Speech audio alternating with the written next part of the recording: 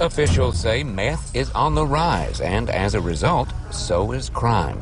Must have been a bad batch around here because Floyd counties went crazy in the last four days. Neighbors notified Mason Tackett that his cousin, Philip Matthew Hagans, was seen carrying items from his house. When I finally got down here to the house to look see what happened, the door was standing wide open. It looked like he was packing up for a yard sale when he come out.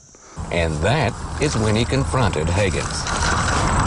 He was lying, throwing his hands and saying stuff like, I didn't do it, I didn't do it, you know how rogues do, and blaming on everybody else. The confrontation took a dangerous turn once Tackett found items belonging to him. He did pull a gun on me when I got back around the house because I guess he thought I was upset with him. Items not normally the target of a would-be burglar.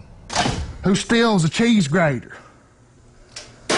He's got the works, Lysol. He stole an empty bottle of spray. What got me the most was my soap. He stole my soap. Who steals soap? Philip Higgins is charged with receiving stolen property and being a convicted felon with a firearm.